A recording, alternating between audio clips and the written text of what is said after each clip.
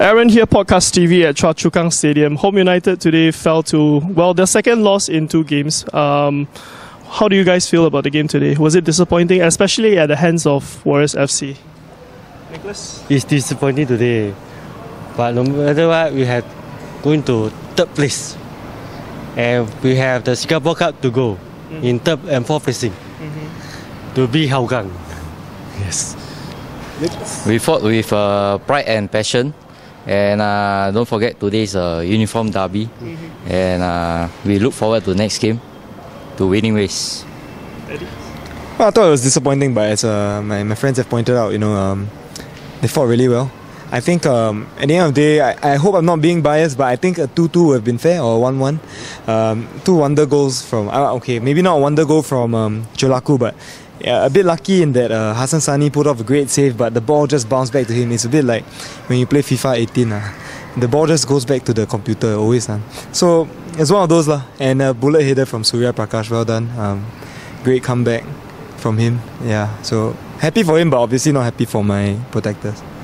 Let's talk a bit about Ikram Rifki. Um, obviously, Ikram is an offensive player. lah. Were you guys surprised to see him playing in like a more defensive role today?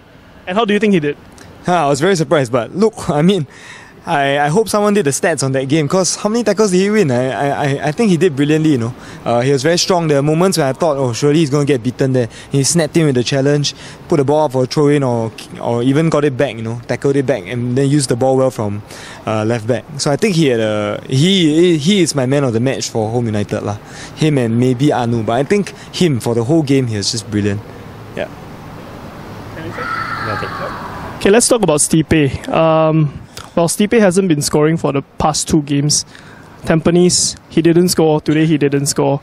Is it a worrying sign? Because the longest he hasn't gone scoring, I mean, he's been scoring almost every game lah, with small gaps in between. The last game he scored was against Balestier, two goals.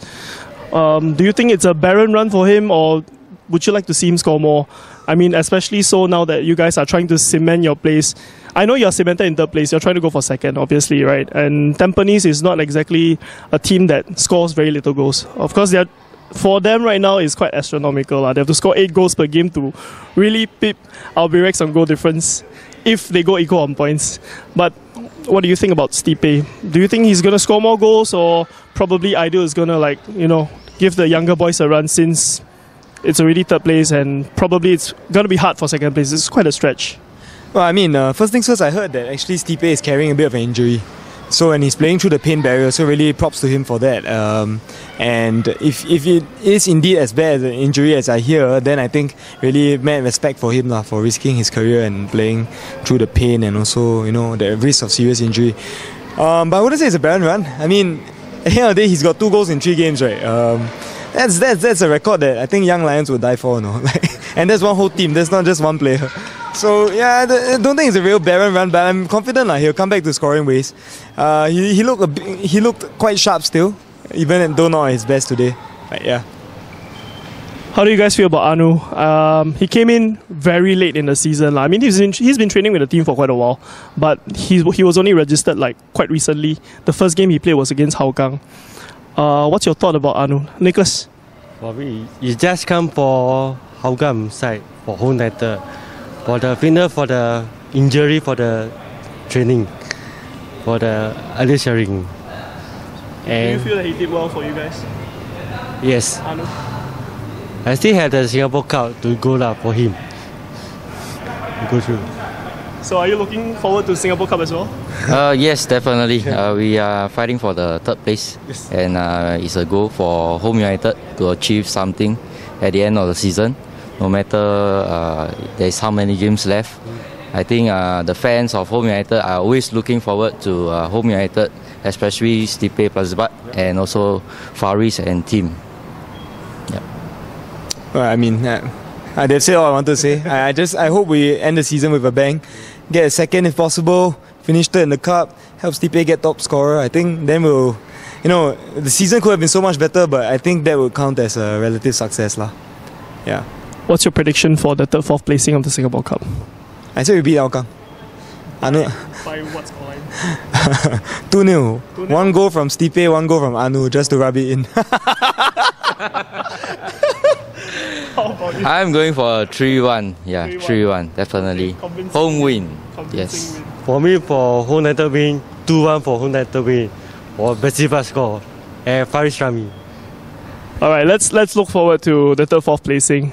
All right, any final words for Home United? I mean, it's been a really long season for them. They started the season before everybody else. You know, they they had to play in the ACL qualifiers and then they went in to play in AFC. So it's been a really long season, and a lot of players have sustained injuries, lah. So here and there, and I don't think we can really blame them for being fatigued this late in the season. Any final words for the boys?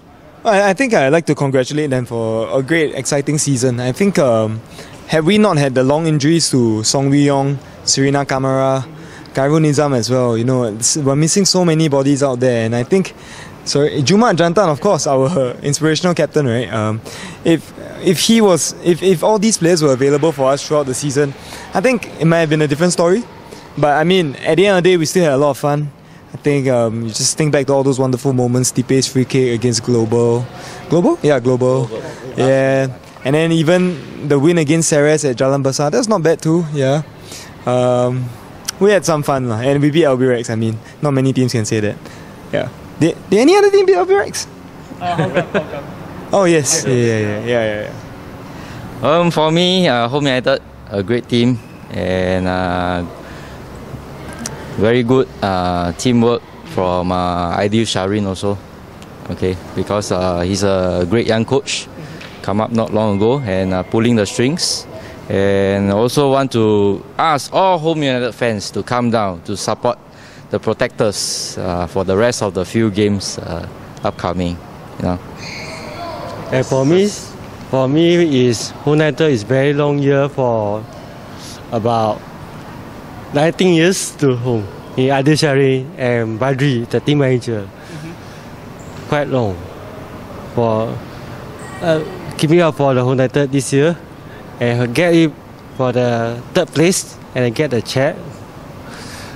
And for the S League also, in the third place also. Hmm. All right, a lot to look forward to actually for Protectors fans. Mark your calendars, 25th of November, third, fourth placing. Home United play Hougang United.